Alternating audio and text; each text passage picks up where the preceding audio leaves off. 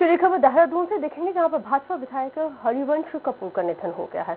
हरिवंश कपूर आठ बार विधायक रह चुके हैं, लेकिन कभी भी मंत्री नहीं बन पाए। हरिवंश कपूर विधानसभा स्पीकर भी रह चुके हैं। विधायक की मौत के कारणों का अब तक पता नहीं चल पाया है। हमारे साथ इस वक्त फ़ोन लाइन पर उत्तराखंड जो है एफ़ तोमर जी जुड़े हुए हैं। तोमर जी जिस तरह से हम देख रहे हैं कि न केवल भाजपा में, बल्कि पूरे प्रदेश में ये शोक की लहर है। दिग्गज भारतीय जनता पार्टी से ये विधायक थे। हरिवंश कपूर जी का निधन हुआ। कारण अज्ञात बताए जाते हैं। क्या वजह? कुछ जानकारी सूत्रों के हवाले से अगर मिल पा रही हो तो।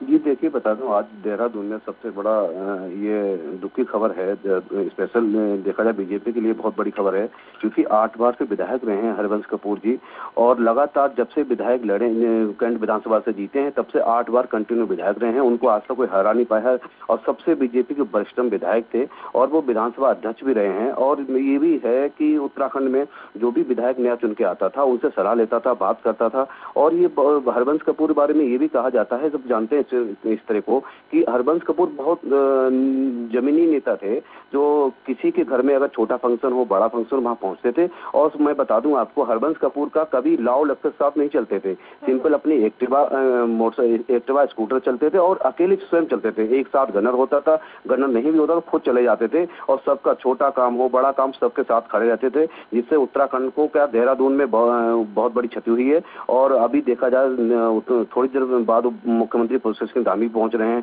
बीजेपी अध्यक्ष मदन कौशिक पहुँचेंगे। लगातार वहाँ पे तांता लगा हुआ है लोग आ रहे हैं और बड़ा माहौल यहाँ पे शोक की लहर है माहौल बहुत खराब हो रहा है लोग रो रहे हैं। जी। जिस तरह से निधन हुआ है क्योंकि ये जो वैक्यूम यहाँ पे क्रिएट हुआ है पैदा हुआ है इस वैक्यूम को इस खालीपन को कौन भर पाएगा?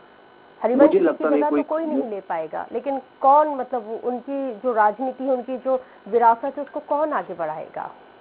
मुझे नहीं लगता कोई उनकी विरासत तो आगे बढ़ाएगा क्योंकि उनके एक बेटे हैं वो लगे हुए बीजेपी में। मुझे नहीं लगता कि जिस जिस, जिस जो नाम हरबंश कपूर था जो सबसे मिलते थे बात करते थे बहुत नीचे तबके लोग हों बड़े लोग हों सबसे बड़ा प्यार था उनका सबसे बहुत प्यार से रहते थे मिलते थे चाहे कांग्रेस विधायक हो कोई भी विधायक होता किसी पार्टी को होता था उनके पास जाते थे बात करते उनको बताते थे कि कैसे काम करते हैं क्या करते हैं उनसे लोग सीखते थे। और अब मुझे ऐसा नहीं लग मुझे ऐसा नहीं लगता कि जो जो उनकी कमी कोई पूरा करेगा। जी।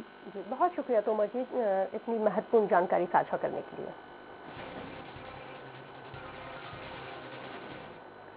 चलिए बुलेटिन में रुक रहे एक ब्रेक के लिए।